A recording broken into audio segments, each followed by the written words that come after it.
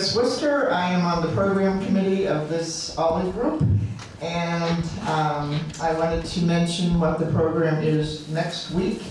Uh, I think most of you are familiar with Bess O'Brien, who is a filmmaker. Um, she's going to do, what are we calling it? Telling stories and making movies. She's going to illustrate her talk with clips from the documentaries that she's made, and she's going to talk about how telling stories and raising the voices of those who are often unheard help create dialogue around important issues. How many of you have seen one of Bess's films before?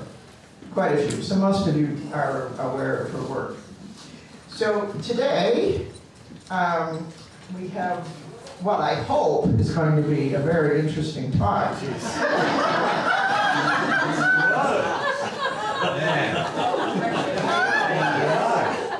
okay, you're all awake now.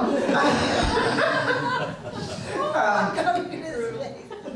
I asked Devin if there was anything he wanted me to say about him special, and he said that he was a nice guy. And I said, I've only met you one time before this, and so I'm really not sure. So after the talk, we can vote. In other words, see. So um, I had the pleasure of taking a tour with Devin of a very interesting architectural house in Barre. Remind me again of the name of the architect. Don McKnight. Don McKnight. Does some of you know Don McKnight? Anyhow, it was fascinating to be with Devin because he knew so much. And as I said to him, the thing that I liked best about meeting Devin was that he had his teenage son with him, and he was really interested, and even admitted it. Not to me. well, he did, he did to me. Um, so Devin is the state architectural historian at the Vermont Division for Historic Preservation. Uh, did you all know that we had a state architectural historian? Yeah. Well, you know everything. You worked in the State House. well, I used to work for the Department of Libraries, and people were amazed that we had a state librarian. And uh, people, a friend of mine would say, you know, every state has a state flower and a state bird and, and a state librarian. So I guess it's sort of, I think I need to stop talking. so Devin has worked there since 20, 2006 he earned his master's in historic preservation at UVM, and he has a BA in art history. And I will turn this over before I embarrass myself anymore. All right, thank you very much. And wow, that's a lot to live up to. So I'll do my best. We've got, do we want to hit the lights for uh, the visuals here? Can you hit the lights? Are they oh, yes. over there? Um, so uh, this is a great, uh, a topic of great interest to me uh, because it, it blends two topics that I'm very interested in, art history and architecture. And uh, thus the title, Art and Architecture of the New Deal. See what I did there. Um, and it's research that I've been doing over the years, just kind of when I'm in a town, checking out what's around and, and flagging these New Deal projects. And uh, really, really trying to understand what the New Deal was about and more importantly, how it impacted Vermont. So the New Deal, if you've done any, if you know anything about it, it's called, you know, alphabet soup of federal programs. You know, the CWA, the ERA, the Treasury Department, the WPA, the PWA, the FAP, it's just, it's ridiculous. and even in going back through uh, historical, you know, firsthand sources, uh, even the federal agencies confused the acronyms, which they couldn't sort it out either. So it's, I don't feel too bad if I, I mess up which branch of which agency did something, but I think I've got it nailed down pretty well.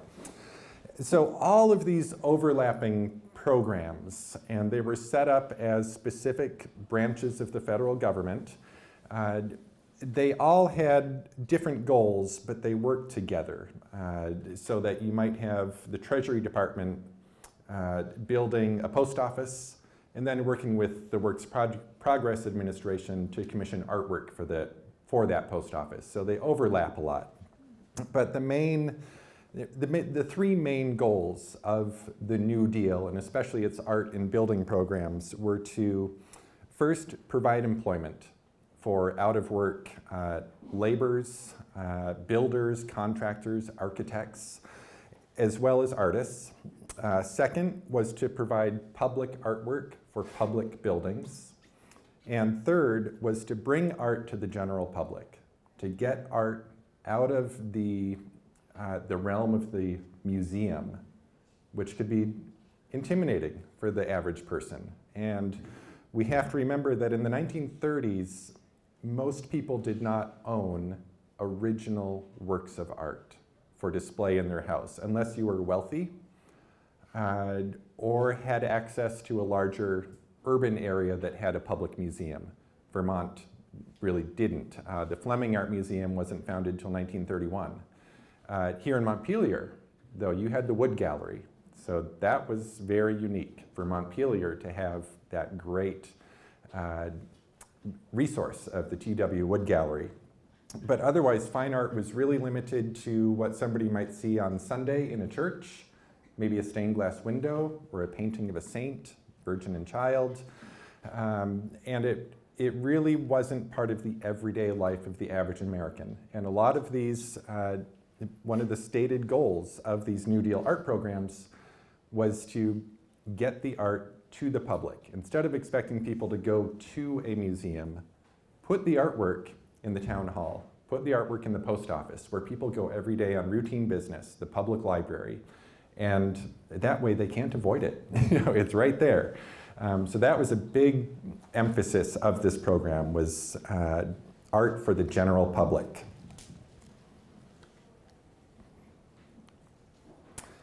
We'll be looking mainly at work done for the Treasury Department. And in the 1930s, uh, the Treasury Department was responsible for uh, the design and construction of all federal buildings in the country. So today it's the General Services Administration.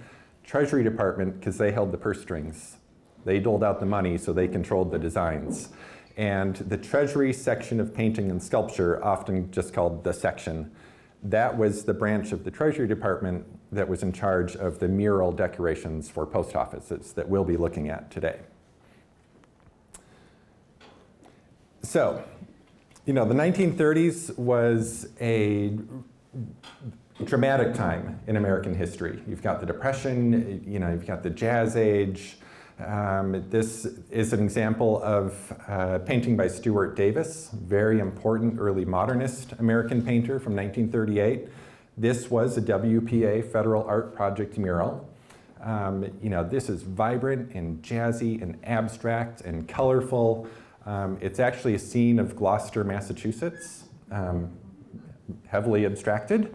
um, but you know, this, this is a pivotal point in American art history when you have uh, artists like Stuart Davis and Marsden Hartley um, really exploring early modernism and abstraction on, on one hand. And on the other hand, you have people uh, who really want to look back to you know, this is the Depression, and they want to look back to the good old days and more representative art and uh, works that display a more uh, traditional, kind of nostalgic view of life in America.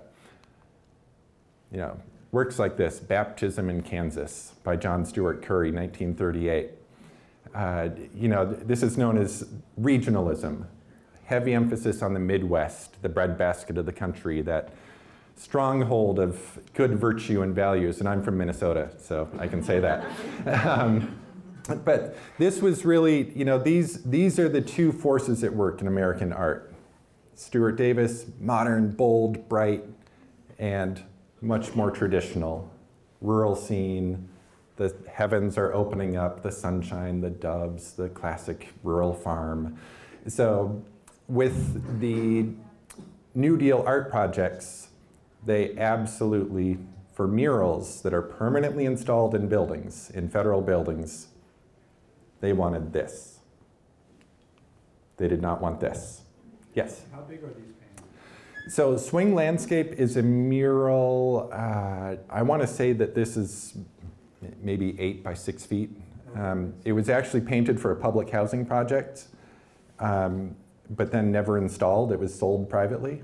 It, I don't know why, um, but uh, this is not this big. This is not a mural. This is an easel painting. Um, so, but the, the subject matter, looking back in a lot of kind of the good old days of, of early America, is what the section of fine arts and the federal arts projects really latched onto as that's what they wanted these artists to portray. They didn't want really wacky modernism.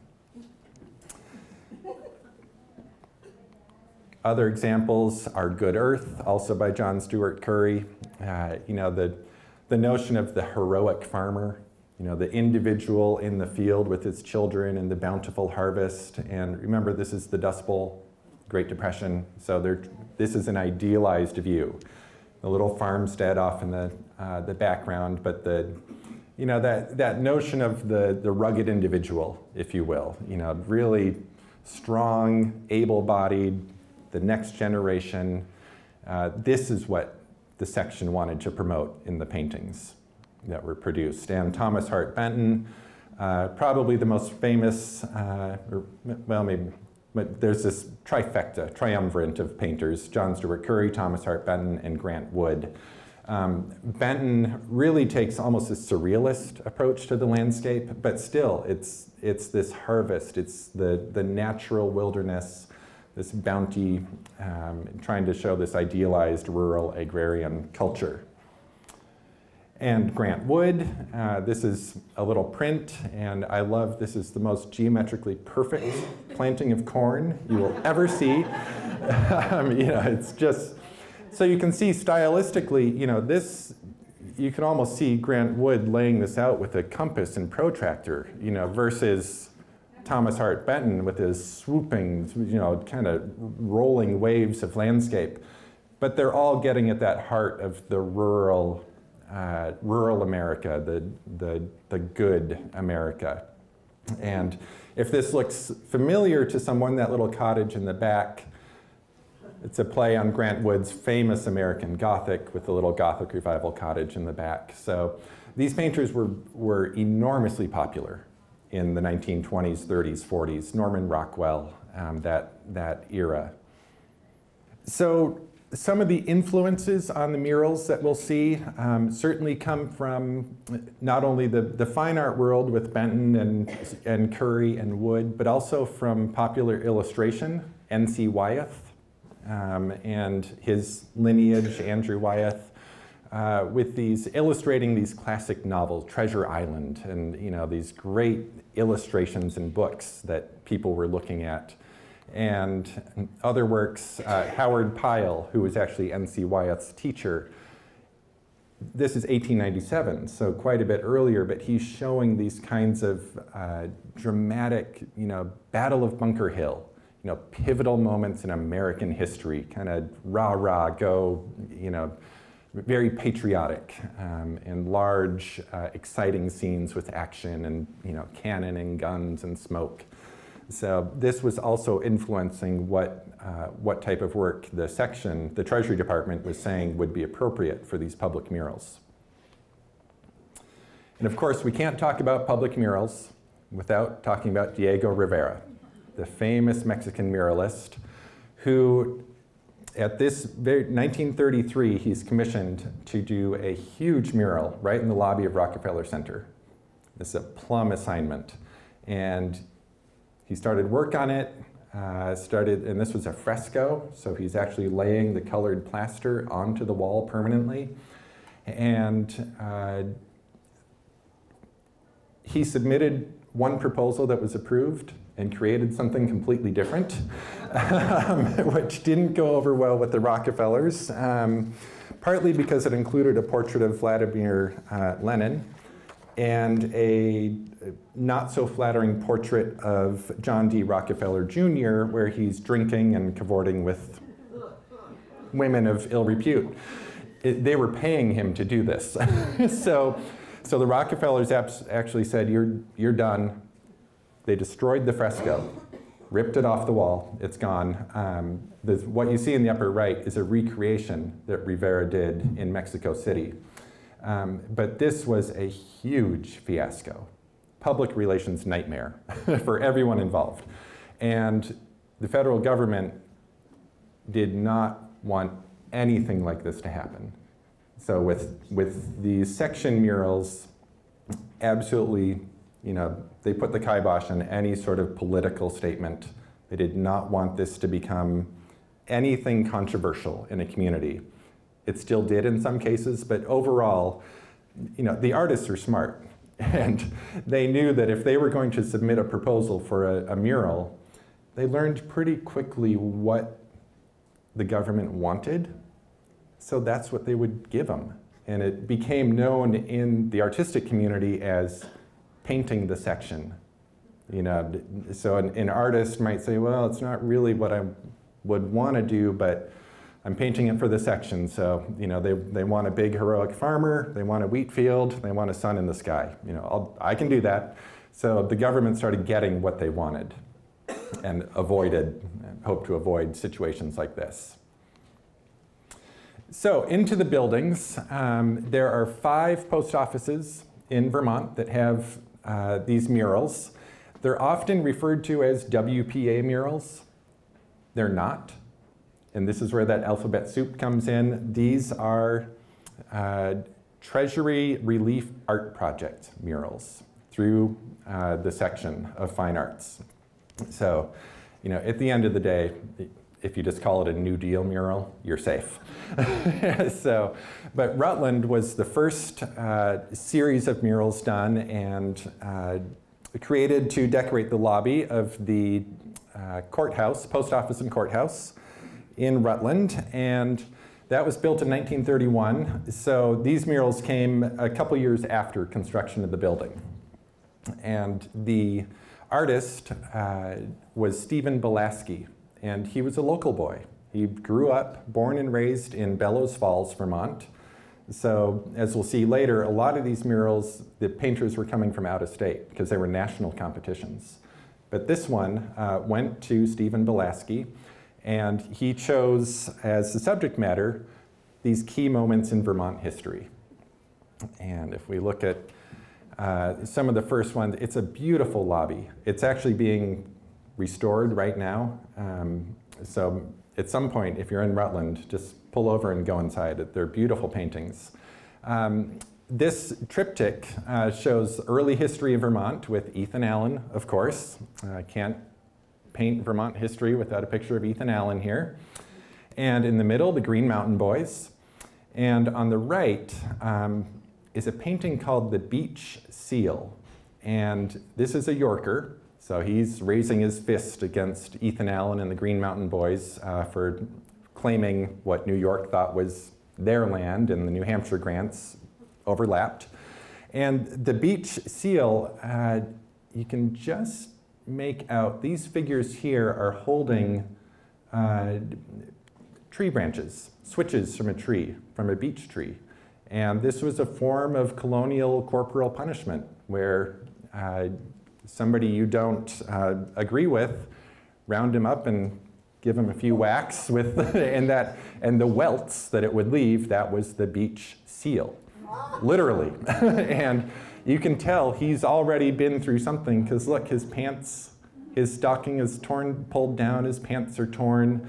So whether the beech seal has already been applied or is about to be applied, um, not quite sure, but uh, so there's a lot of thought that went into these paintings and research and documentation.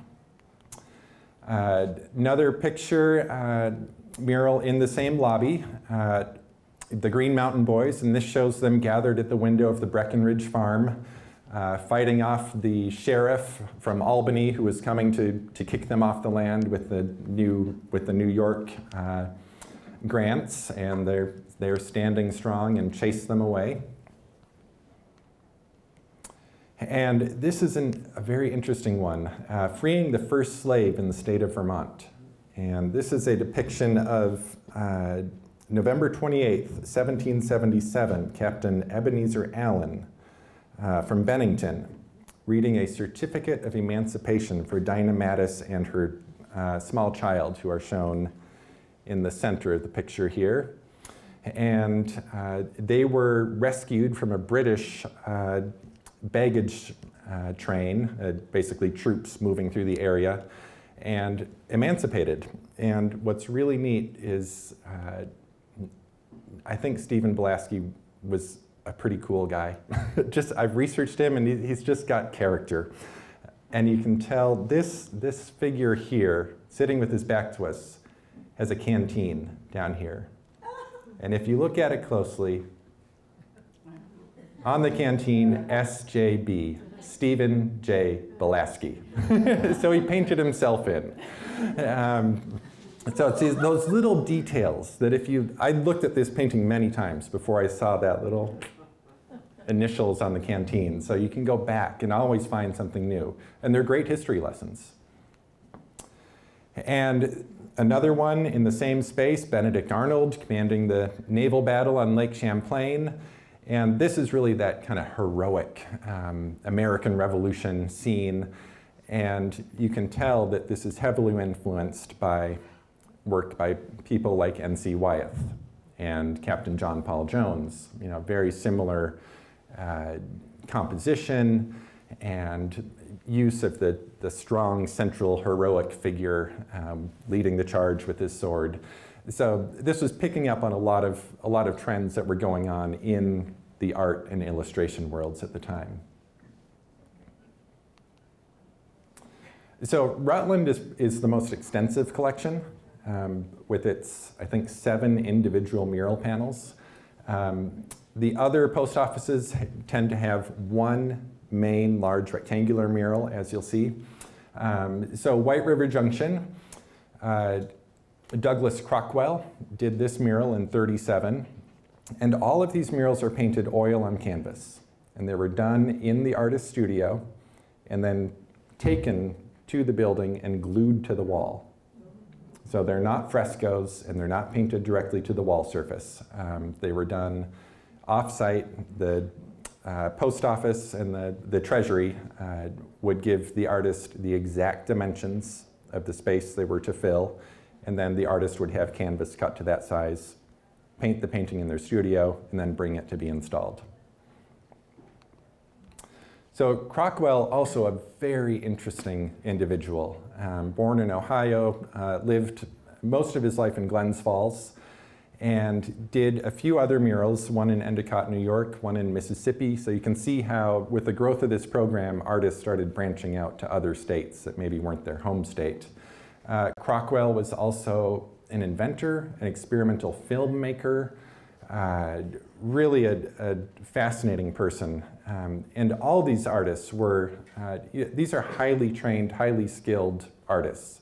These are not just Sunday painters who thought, oh, wouldn't it be nice to decorate the post office?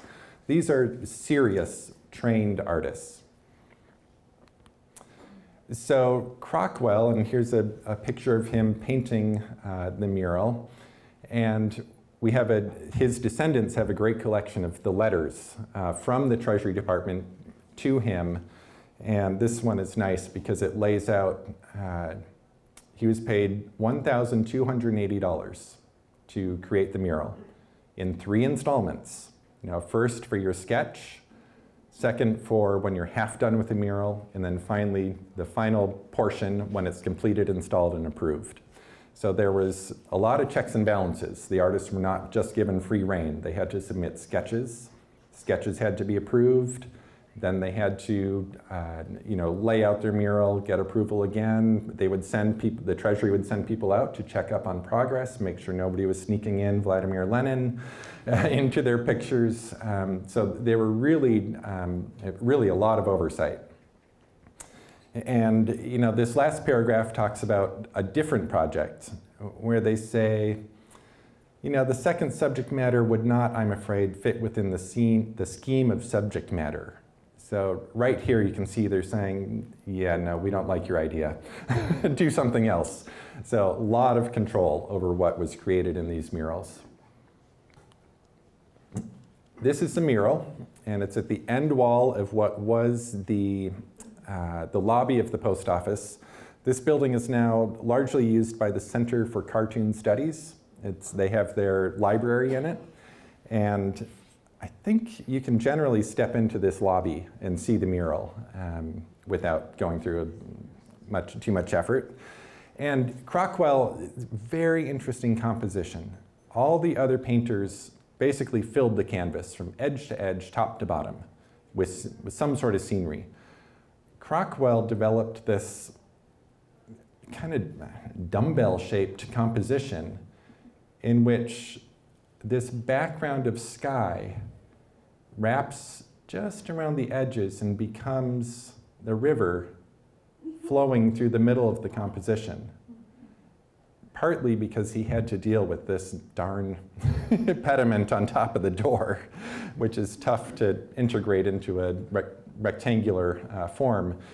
But you know, a lot of creativity and the subject matter that he was working with. Um, so on the left, he's showing uh, traditional Vermont industries, certainly the stone industries, uh, quarrying marble here, and you can tell he did his research also. This man is splitting off chunks of stone with the plug and feather technique, uh, with a little diagram here where uh, two iron feathers wedge, are placed in a hole that's drilled in the stone, and then this wedge is driven between, and the force splits the stone apart. Very labor intensive, um, but he knew he had to depict it properly because people in, uh, in Vermont know uh, how this is done. And on the right-hand side, we have a more agricultural scene uh, where they're harvesting maple syrup, harvesting sap from the trees. And this also shows the farmer with a tractor, so a little modern technology coming in, plowing the fields. Um, and also the tree stumps, you know, they're, they're clearing the forests. It's partly for growth at the farm, partly for firewood. Um, but this is showing you know, there's an impact of these people on the landscape. So it's not just a, a pretty postcard view of Vermont landscape, it's showing how people really use the landscape. And in the background, the little farmhouse and the barn. And boy, this, this hill, is, it's straight out of Rutland County. It's, I don't know for sure if that's where he was painting, but it's um, right in the mountain range there around Hubbardton, spot on. So, Which building was that one in? That is in the White River Junction Okay. Post Office. That Yep. looks a lot like Benton's work. It does. Yep. Very similar to Benton with these kind of flowing, uh, you know, very painterly, uh, loose uh, brushwork. So in St. Albans, you'll see a trend here. These first three, you know, Rutland, White River, St. Albans, they're all railroad towns. You know, that's where the big industry and commerce was at, in the 1930s. Um, this one uh, was done for the post office and custom house, uh, which is built right in Rutland City, right downtown. And it actually has two murals um, at either end of the large lobby. Uh, Philip Wenceslas von Saltza, my favorite name, um, adds another layer of interest uh, because he was an immigrant. His family moved to the US from Sweden when he was six years old, trained as an engineer, fought in the US military in World War I, and was actually held as a POW in Germany. Came back to the US and became an artist. And then I imagine it must have been pretty rewarding for him to have been an immigrant, fought in the war, been a POW, to then be hired by his adoptive country to create works of art. You know, that's pretty cool. And his murals, uh, the first one we'll look at is called Haying, and it's another kind of idealized scene of, of cutting the hay on a Vermont farm. And, you know, it, it shows the manner in which it was done was really not that different from the 19th century. You know, horses, hay wagons, pitchforks, um, not a lot of technology being shown here. Um, and also, interestingly, there's a couple dancing, as people do when gathering hay. Um, this raised a few eyebrows in, in St. Albans. And there are some great newspaper accounts of you know, people saying, well, it's a nice painting, but why are they dancing? so, yeah, a little artistic license. You've got, uh, you know, a boy playing the fiddle. Why isn't he helping pitch hay? um, so, but again, this really highlights that kind of idealized rural farm life where, you know, life is free and good and the, the barefoot woman in the white dress dancing with the young man. And so, it, you know, it's not exactly true to life. And the corresponding mural at the opposite end of the lobby is a winter scene. So uh, this is sugaring off. You'll see a trend here. A lot of maple sugaring. That was Vermont in a nutshell. Um, and you know, this, this is another kind of quaint scene that was criticized by the St. Albans folk because they said, we don't gather sap this way anymore. That's how our parents used to do it. You know, we don't use oxen.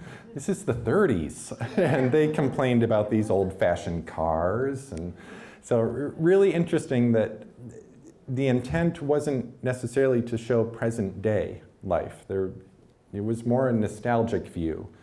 And the people in these communities sometimes kind of felt like, mm, doesn't really reflect us, but um, that's, um, you know, it's, it's a nice composition. It shows the process of gathering the sap from the woods, carrying it on a yoke with two buckets, and then dumping it into the collector bucket and boiling it. Um, and then again, these kind of playful scenes of kids having a snowball fight, uh, young boy and a girl, you know, he's wearing a baseball cap. Is he back from college? They're clearly not dressed to work in the woods. You know, what's this little uh, encounter about? So it kind of just a nice playful scene.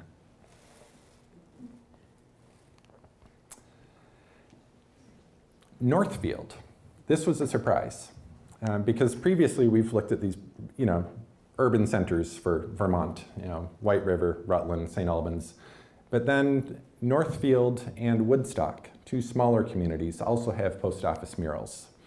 And this one was done by Charles Daugherty, uh, whose father was actually a very famous muralist. And uh, Charles worked as an artist, but didn't really pursue it full time. Um, but he did get the commission for the Northfield Post Office. And very hard to find a picture of him. This is, here he is posing as a model for one of his dad's murals. Um, but he uh, did a, a, few pieces uh, during the, the New Deal era. And this is the mural in the post office, and it's wonderful. I love this one. Um, and you can see how he really used the full edge to edge, top to bottom, incorporating this door frame in the composition. And it was great. I was, when I took this picture, I was in the lobby, and this is still an active post office. The post office boxes are there, and the customer desk, and was taking pictures, and a person walked in, and she said, oh, what are you doing? I said, I'm doing some research on these murals, and she looked up and she said, oh, I never saw that before. I'm like, good lord, you know, so pick your head up, you know, look up, because it's only been there for 80 years now. Um, so, but this got me thinking, you know, why a Northfield post office with a mural of downhill skiers? This should be in Stowe. Turns out in the 30s, Northfield was banking on becoming a ski destination town. They had private trains coming up from New Haven, Connecticut every weekend to ski on one ski hill. I think it was on Paine Mountain in Northfield. They had a little uh, rope tow going up that they built in the 1930s. And Northfield was really hoping to become a ski destination, a winter sports destination. So this mural tries to depict that, and it, you know, it shows all the current, for the time, ski technology with these, uh, you know, hard leather boots and uh, the old bear trap bindings that have a spring that go around your heel, and you know, no quick release bindings. Uh, heavy wooden skis, and you know, this is when skiing was really an athletic pursuit. You had to know what you were doing, otherwise you could really hurt yourself. Um, there's none of the modern you know, shaped skis and really lightweight, quick release equipment that we have today. So, um, so these skiers, you know, in various degrees of uh, skill. This guy's racing down the hill. You can see the cloud of snow that he's kicked up. Um, and this guy's kind of hoping to stay upright. This person is fallen down here. So just a fun, lighthearted scene, but gives a little glimpse into that, that history of, of uh, Northfield. Uh, that today most people don't think of Northfield, Vermont. You know, you think of Norwich University, um, but you don't think of downhill ski mecca. What was the year of this? Uh, this was, I didn't put that on there. I think 30, is it on the previous slide? 39. Yeah. And then also in another part of the lobby, there are these three medallions, for lack of a better word. They're maybe three feet across in each dimension. And these are nice little vignettes of, again, classic Vermont subject matter. Gathering the maple sap, the heroic farmer, you know, Jolly Green Giant-esque farmer here. The only depiction of a cow in any Vermont murals of this era, note. Um, and then the last one is a stone carver. Northfield was also well known for its uh, stone carving industry. Now, those on canvas or? Yes, Yeah, yeah. Yep, those are also on canvas, and they're mounted with uh, this, I think it's just a simple half-round wood trim stock that goes around the edges.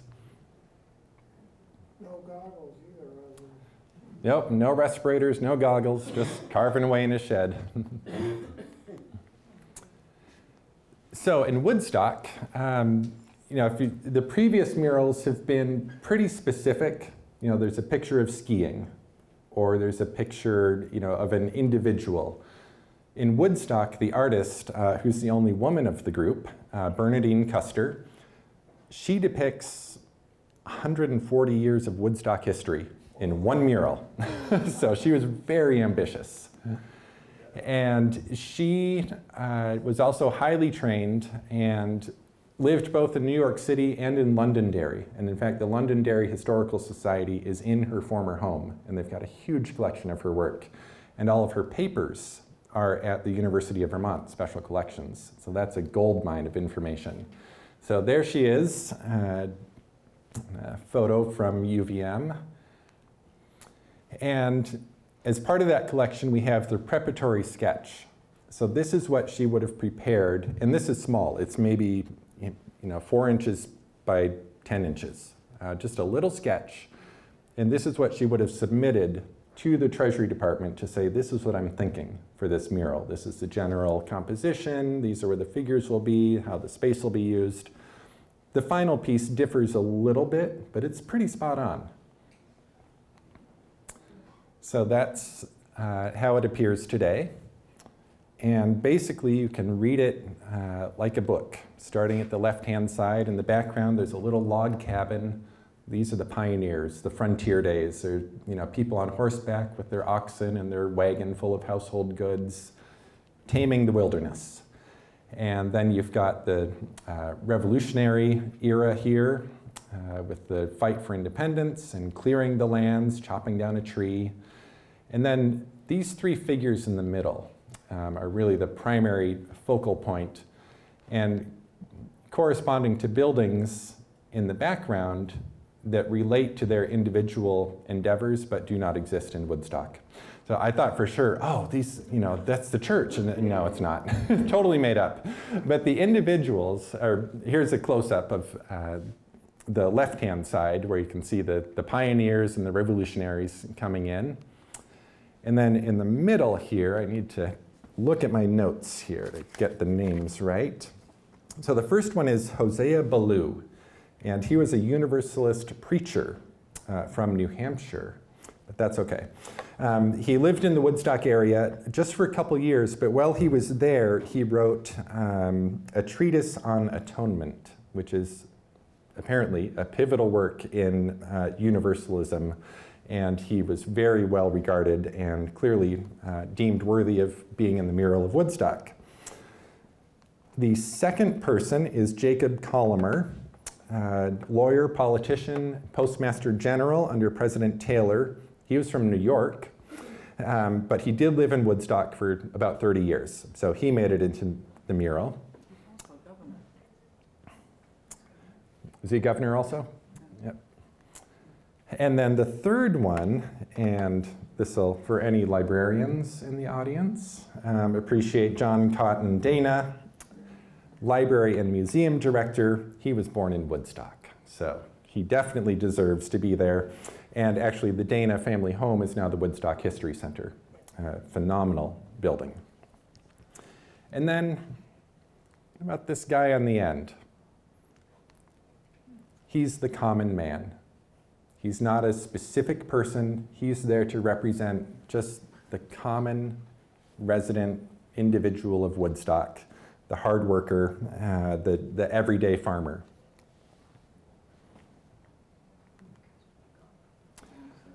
Now, on the right hand side, it gets interesting. Somehow we have a, an environment in which you can golf and ski at the same time. so we have a gas pump, we have a modern automobile, people riding horseback, people hunting. So this is, you know, 1930s present day Woodstock when it's a vacation destination, tourism. You know, this is, you know, selling Vermont uh, for outdoor recreations in the summer, in the winter, and you know modern technology with gas pumps, um, and the, the gas pumps were not well received. Um, in this fabulous letter, this is one of my favorites. This is from the postmaster of Woodstock to uh, the assistant chief of the section of fine arts, where she says, Woodstock, Vermont is not mural minded. they really didn't want this mural, but they were kind of forced into it. But, you know, I she's saying, okay, I suppose we appreciate it. And then in the last paragraph, Woodstock does not put its gas pumps up front. She wanted the artist to come back and paint out the gas pump because that was not appropriate for Woodstock. so the artist declined, and the, wood, the gas pumps are there today. so but I think it's really interesting in that here also we see this town saying, Ugh, you know, we, we like the old fashioned stuff, but none of that dirty gas pumps, ew. Yeah, so it's really interesting on how communities responded. You know, in St. Albans, they complained that the maple sugaring was old fashioned. You know, whereas here they're saying, oh, it's too new. So you can't win. but this is, this is a great, um, really a great, there are articles in local papers about Woodstock doesn't need a post office. Why is this being forced on us? And you know, they got it. so, Excuse me? Yes. Can you yes. look at that once?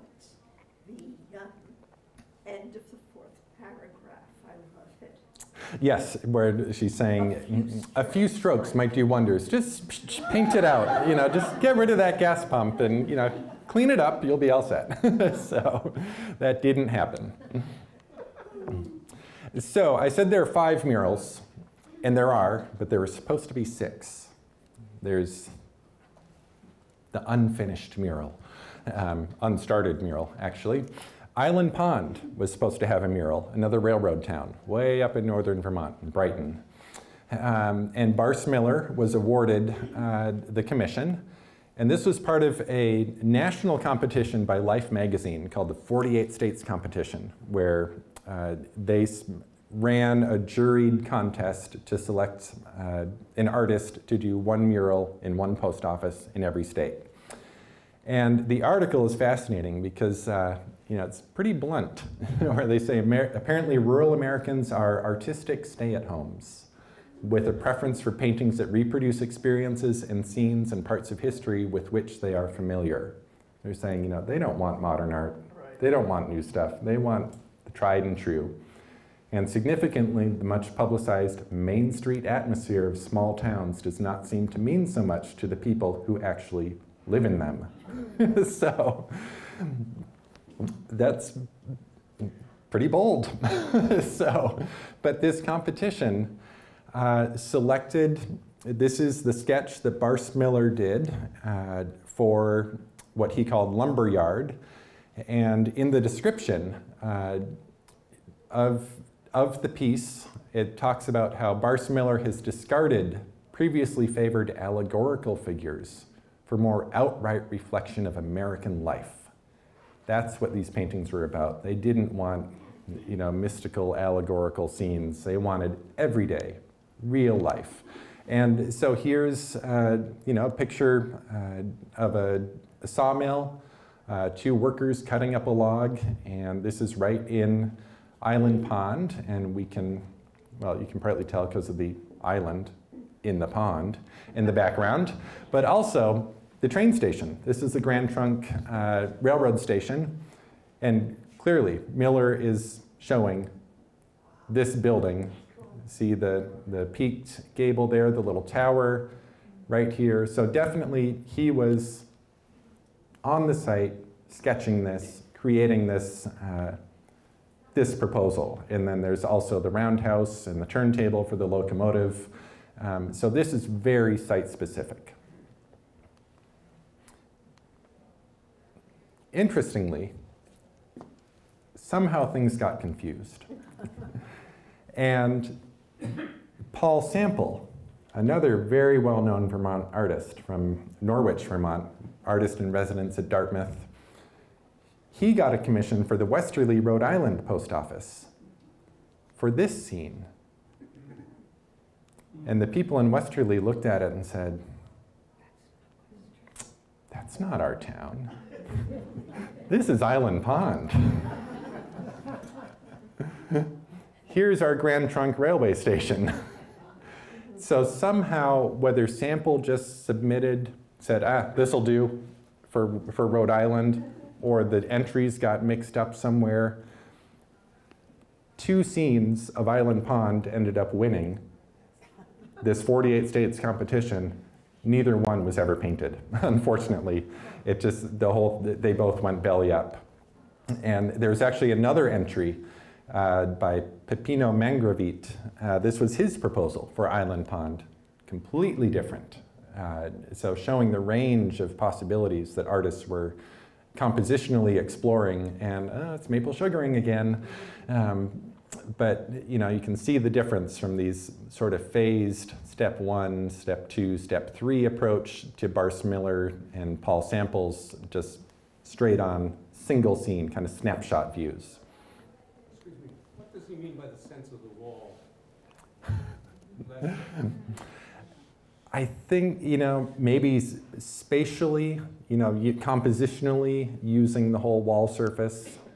Um, and you know, and its requirements are never slighted. I, I don't know exactly what that means, but. What, what is the woman in the other picture doing?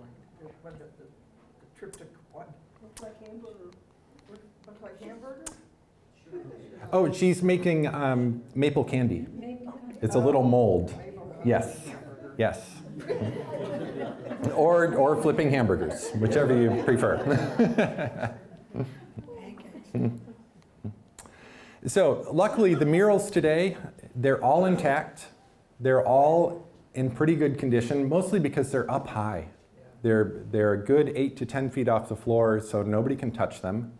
Nobody can, you know, bang a mail cart into them or, you know, scrape them in any way. So generally, they're in pretty good shape. And, but, you know, as I said, with the Northfield, they're largely overlooked. A lot of people don't even take the time to look up and just think about what they're seeing. So, um, so hopefully, you know, if we can raise awareness at the very least that they're there. And, and it seems like the, post, the postmasters appreciate them. They're, they were all very wel welcoming and said, yeah, take all the pictures you want when I would show up. So, so they appreciate them. A couple other examples around the state that are not post office murals, but are also New Deal murals. Um, this was a federal arts project by Stephen Belaski, he did the uh, Rutland post office, and these are enormous. That central panel is probably at least 15 feet wide, um, and they're in the stairwell of the main entry to the building. And on the other wall is this corresponding piece, also Federal Arts Project.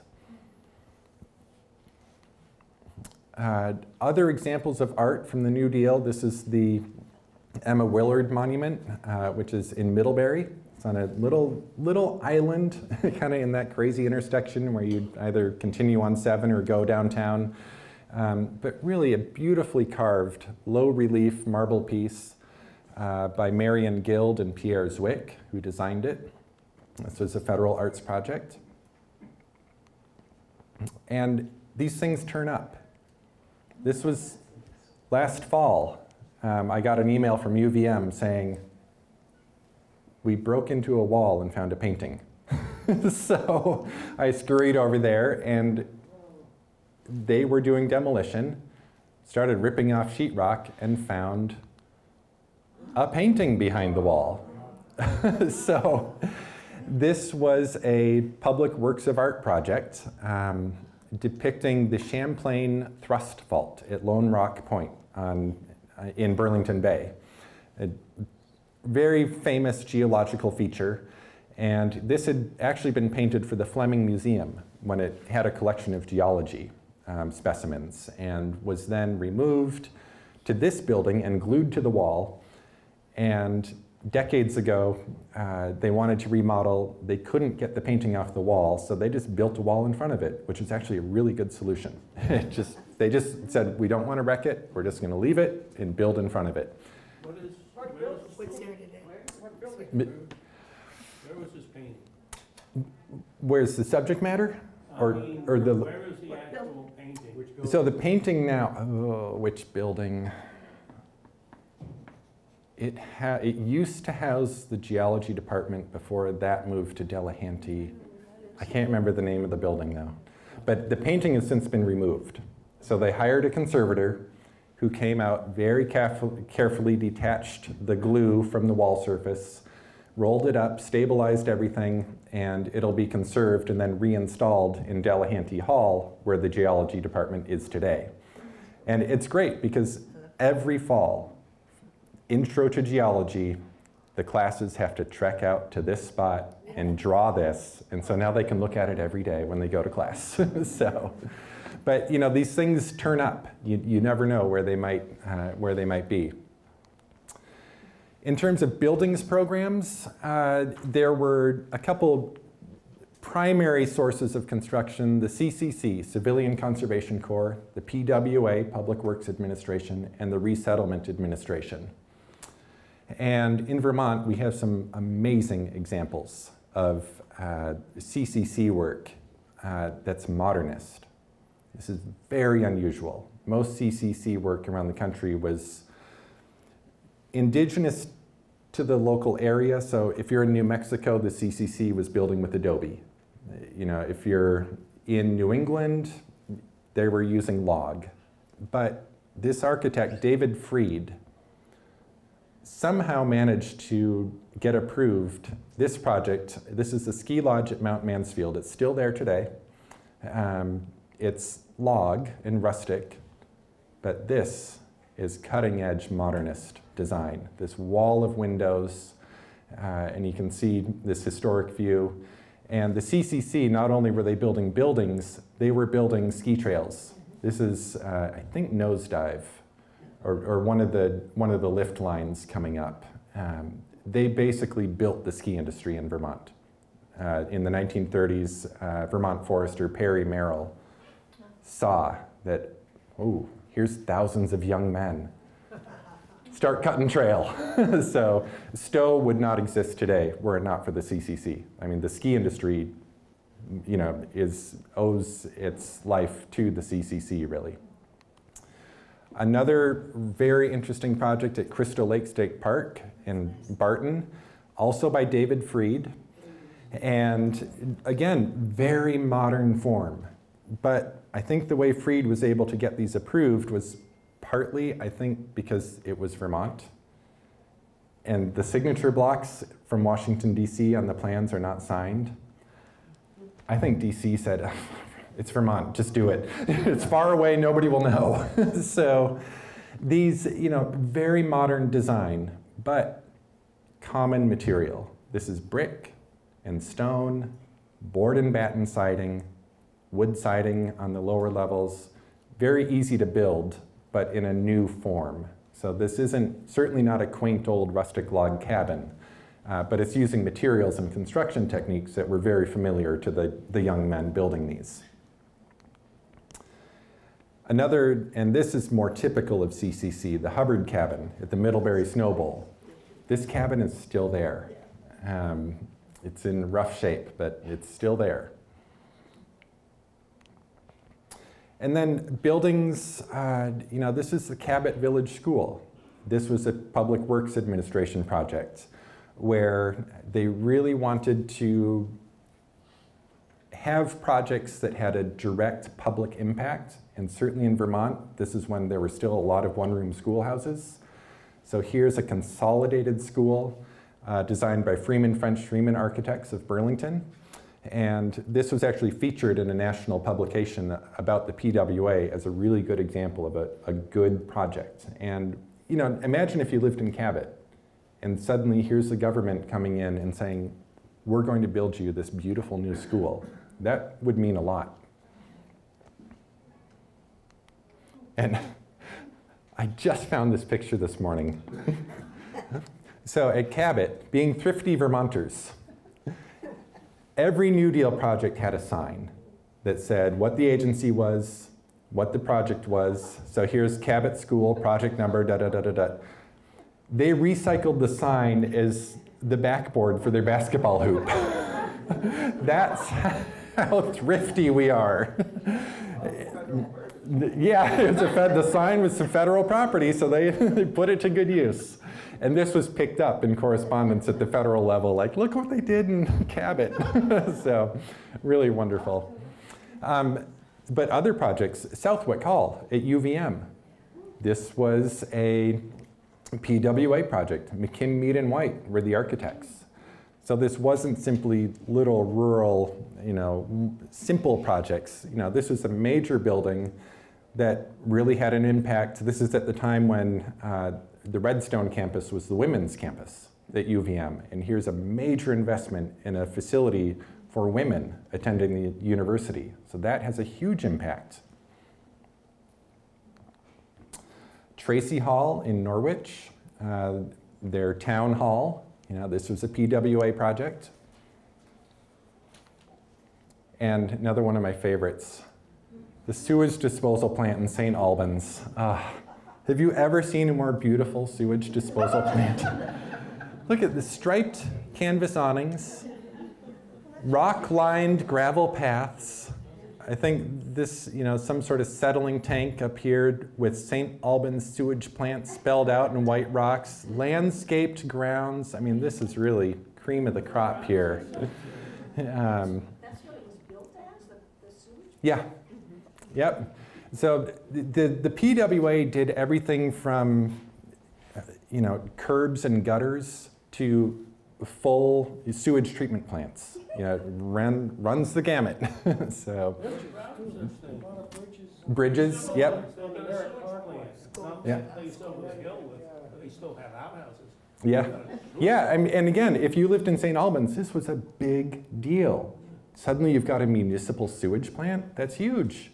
It's really it's a pivotal change in Vermont life. Is the Public Works Administration was funded by the federal government? Yes. And it had an office in Washington? Yep. Yep. So these are all federally funded under Roosevelt's New Deal, and really just trying to get that cash infusion and not simply dumping money into projects, but also employing people, you know, putting them to work. And here in Montpelier, recognize that? Recreation fields. Is, was that really the largest earthwork pool in the world when it was built? Not only. I'm glad you asked. Newspaper accounts say that it was the largest asphalt pool in the country that held 1 million and 27 gallons. so Montpelier was When I was a child, they said there was a larger one in Switzerland. I don't believe it. but you know, here's the recreation fields uh, with the pool, the bathhouse, the baseball stadium over here, the football field, soccer field in the middle. Uh, this was all a PWA project, and there's a historic site marker. But you know, darn it, even that, it says WPA. It was PWA. You know, it's tough. so, but another thing I love about this picture is look at the landscape. Totally clear cut. so, a lot of change. Uh, Union Elementary School. This was also a PWA project. Uh, this by uh, architect Robert Graham from New York. Um, again, this was a big deal for Montpelier to get this beautiful public school building and uh, really see this investment in their community from the federal government. The tower at Hubbard Park, Civilian Conservation Corps. 1936. They worked on this, I think, for about four years. Um, yeah. no, It was built to look like a ruin, right? right. Yep. Yeah, the sort of rustic stonework. My dad worked on this. Oh, really? Uh-huh. Yeah. So, so these things that we tend to take for granted today, they're easy to just assume. Well, it's always been there. Well, they they haven't. You know, the CCC was amazing. Go to pretty much any state park that existed, you know, pre 1950, it was a CCC state park. The pathways, the roads, the shelters, the picnic areas, the fire pits, all CCC. And in Waterbury, Mhm. there used to be a whole town, Yes. and there's still some remaining. Yep, there was a whole CCC camp in Waterbury, and I think some of the chimney stacks are still standing. Right. Five or. Mm-hmm. What's that? Up in the way to, uh, up in the way, I can't remember. Is it It's Little still- I think River? it's fourteen. For- There's a yeah. camp there, and it's still there, it still has a Mhm. sign, conservation. Yeah, yeah. So, And there's a fifty or five hundred thousand, I don't remember, tank that's all lined in oak. hmm. And, you know, oaks don't grow that big. Yes. yeah. And I've often wondered if that oak came at the same time they were building the Panama Canal. It could be another big project of these New Deal programs in the CCC was reforestation. And you can always spot a CCC forest because the trees are perfect. Spaced every six feet on a grid, absolutely perfectly aligned. They just took their saplings and charted out a grid and planted them all. Um, so, you know, not, not just, yes, like the cornfield, yeah. Um, Across from the rec center in Montpelier has pine trees planted like that. Okay, so that- That you showed as being all open. Yep. Is now all grown over with white pine planted. Yep, so that could certainly be one of those reforestation projects. Oh, and they also did the big, the big dams. Yes, yep, the Waterbury Dam, the yep. Barre and Waterbury. yep, flood control dams. Yeah. Planted the trees along the north branch, Mm-hmm. which were black willows and sixty-year trees, and sure enough, they've all died. Ah, they, In the last fifteen years. uh-huh. so yeah, a lot of these plantings are aging out. Yep, And in that town in Waterbury that was the CCC, there's the remainder of some chimneys that was a building for the officers, right, which burned down. Yep. And they all got killed. in- yeah, tragic fire there. The windows had been all decorated with iron bars. So Mm. those poor guys who were living there could not escape. Mm-hmm. Yeah, there's, that was a very unfortunate accident. Um, and with the CCC, there, there were the camps that they actually lived in. So they built their own living quarters. And then there are the projects they built. Um, very few of those camps remain. Um, I know at Camp Downer in, Yes. I forget what town that's in. Is it South Royalton, Sharon? Some, some of their buildings are actually converted CCC camp buildings. They survived. Um, so, like I said, there's things out there once you start looking. and that camp down there, I believe is now for blind children from New York City. Hmm. Yeah, so it's still active. Yes, Yeah, so I can't not mention the Wood Gallery. It's right next door to us. and they are the repository for works of art created under the WPA Federal Art Project. Basically, when all these New Deal programs ended in 1942 because of World War II, there were traveling exhibits all over the country of work created by artists from all over the country. And basically, the, the WPA said, stop. Whatever exhibit you have right now, keep it. Hmm. And they designated a repository in each state, and the Wood Gallery, really being one of the only art galleries in the state at the time, was officially designated as a repository for uh, the federal art project works. So in that collection, it's totally random. Paintings of the Brooklyn Bridge, New Mexico desert, you know, it's not like Vermont scenes. Um, it's from all over the country, and it's really worth checking out if you haven't seen it. Um, they've got a great collection there. And uh, several of the artists who did murals also have smaller easel pieces and drawings in the Wood Gallery collection. Um, so you can start to better understand these artists and how they were working and um, you know, what, what they were dealing with in the 1930s. So you're saying that the, the, the art is from all over the country because there's a traveling show that just happened to stop in Vermont? Right. Wow. Yep. Yeah, they, they would they would transport these exhibits around the country because remember, one of the goals was to get art to the people. And so they would, uh, tens of thousands of works of art were created under these, the Federal Art Project alone.